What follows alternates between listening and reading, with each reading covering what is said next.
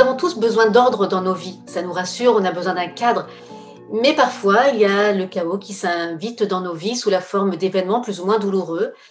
Et avec le temps, on se rend compte que certaines fois, dans certaines situations, ce chaos nous permet de nous réinventer et peut-être de remettre de l'ordre dans une situation qui en manquait et dont on n'avait pas forcément conscience. En fait, on se rend compte dans bien des cas que le chaos enfante de très jolies étoiles. Juliette est une libraire très intuitive. Elle sait exactement le livre qu'il vous faut à ce moment précis. Elle mène une vie assez routinière jusqu'au jour où une voyante va lui annoncer sa mort prochaine, à moins qu'elle ne sauve la vie de trois inconnus en moins de 15 jours. Comme Juliette tient à la vie plus que tout, elle va se lancer dans ce défi un peu fou et elle va pour cela faire preuve d'audace. Elle va devoir sortir de sa zone de confort, affronter ses peurs de ne pas être à la hauteur, ses croyances, ses convictions les plus intimes pour sauver la vie de ces trois inconnus et se sauver elle-même. Le roman débute à Paris, euh, au Jardin du Luxembourg précisément.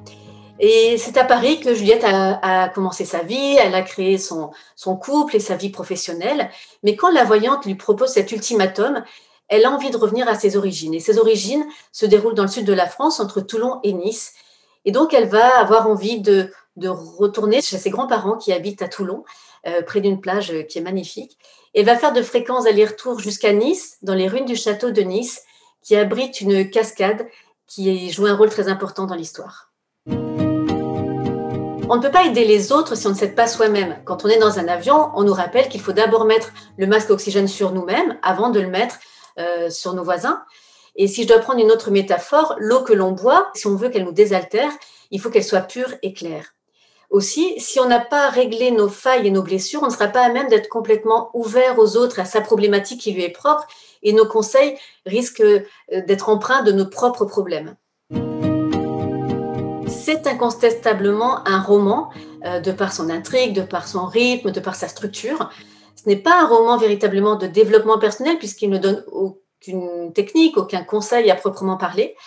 Pour autant, la résilience, euh, qui est un thème qui m'est cher et qui est présent dans tous mes romans, est également présent ici. Et je pense que le lecteur pourra puiser dans cette histoire des, enseignements, des pistes de réflexion et peut-être une dose d'espoir et, d'optimisme. Il y a effectivement une part autobiographique dans ce roman. Euh, je fais référence notamment aux lettres que Rose, une grand-mère, envoie à sa mère dans les années 30 et dans ces lettres, elle fait référence à un secret de famille.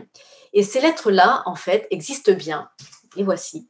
Ça fait partie d'une des lettres. Je ne sais pas si on va bien la voir.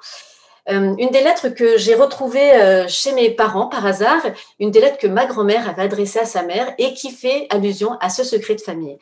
Et grâce à ce roman, j'ai pu percer euh, ce secret pour moi et pour toute ma famille. Donc il y a ce côté autobiographique.